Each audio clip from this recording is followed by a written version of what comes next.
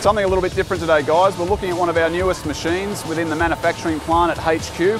Often we look at where the parts end up on vehicles, but today we've got Tim, our operations manager, and we'll talk through our latest Integrex.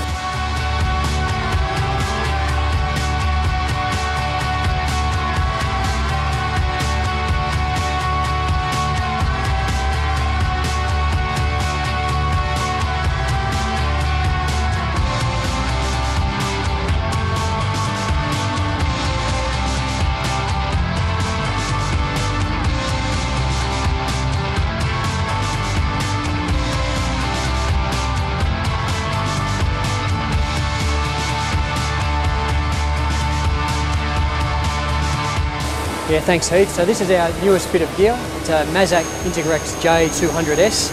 It's a, um, it's a multitasking twin spindle mill turn machine. Does everything basically. Does everything, yeah.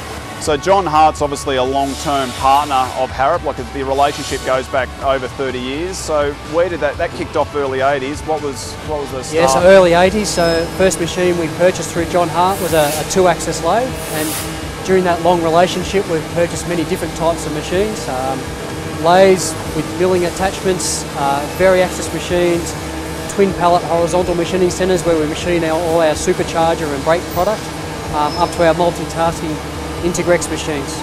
Yeah, diversity of products obviously key to our business. So whether it's an industrial customer or whether it's a four-wheel drive or a performance guy, we've got the equipment and the facility to actually create the products that we actually we make. Yeah, so all, all, the machines need to be really flexible to allow us to swap between products easily. So all the machines that we have, they're, they're not just set up just doing the one job all the time. We need to be able to be agile and swap between a differential product one day to a, to a crankshaft the next day or a wheel the day after or then a military or aerospace part the day after that. So having the equipment to be able to do that is very important.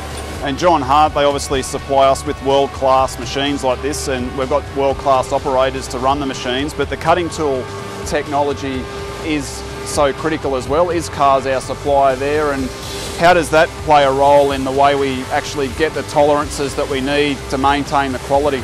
Yeah, so, so like, uh, like John Hart, ISCAR have been a long-term long supplier and partner with Harrop and we, uh, we use their cutting tool technology to make sure we're using our machines to their optimum um, and the cutting tools that they supply to us enable us enable us to do that. So whether it be a face mill, drills or specialty end mills, um, they can provide the solutions for us to do that. And they work closely with us, like if we've got a particular part or a particular customer requirement, often there's innovation in the way the, the cutting tool is, is manufactured to enable us to achieve what we need. Yeah, exactly. So machining different types of materials all the time, you know, from cast iron to to billet product and titanium and even plastics or what have you. So ISCAR works closely with our production engineers to, to look at the componentry that we're doing and then the machining cycles that we have to make sure we're you know, reaching the best outcomes.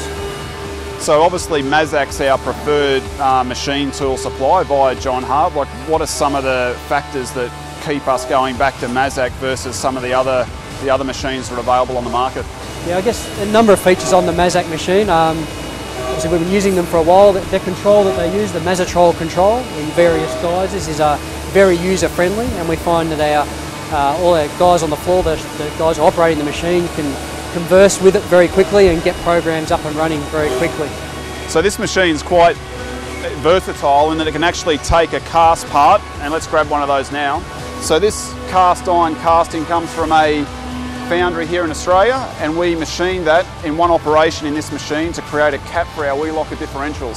So what sort of cycle time do we see on a part like this to be fully machined?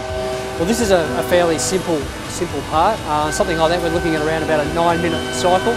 But all these machines are very flexible in what they can do. So we need to be very agile in the type of work that we do. So whilst today this machine might be setting up and machining these e-locker or differential caps, tomorrow we could be machining an aerospace part. So this machine has a 72 tool magazine and enable us to swap the job between, between job and job very quickly.